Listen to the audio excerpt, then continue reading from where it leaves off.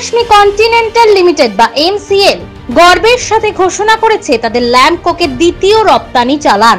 চারই সেপ্টেম্বর এমবিএএস এলবিয়া নামক ভেসেলটি একুশ হাজার পাঁচশো নব্বই মেট্রিক টন ওজনের লো অ্যাশ মেটালার্জিক্যাল কোক বা ল্যাম্প কোকের একটি চালান নিয়ে ওড়িশার পারাদ্বীপ বন্দর থেকে ছেড়ে ইটালির উদ্দেশ্যে রওনা দিয়েছে। এটি মহালক্ষ্মী কন্টিনেন্টাল বা এমসিএল এর দ্বিতীয় প্রধান রপ্তানি এবং এমসিএল এর আন্তর্জাতিক ক্রমবর্ধমান চাহিদার প্রেক্ষিতে আরও অনেক এরূপ রপ্তানির আদেশ বাস্তবায়নের ব্যাপারে তারা আত্মবিশ্বাসী।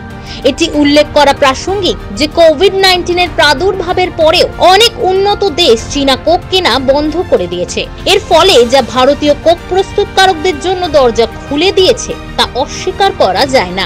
এমসিএল এর প্রতিনিধিরা নিশ্চিত করেছেন যে তাদের কাছে বর্তমানে back to back export order রয়েছে এবং তার মধ্যেই অনেকগুলি অনুসন্ধান শীঘ্রই অর্ডারে অনুবাদ করা হবে বলেই জানানো হয়েছে এমসিএল এর তরফে এমসিএল এর এক প্রতিনিধি এও নিশ্চিত করেছেন এমসিএল বর্তমানে উত্তর পূর্ব ভারতের অঞ্চলগুলির মধ্যে থেকে সব থেকে দ্রুত উন্নয়নশীল এবং সবচেয়ে বড় রপ্তানিকারক হিসেবে গড়ে উঠেছে Bureau Report, Big News, 24 into 7.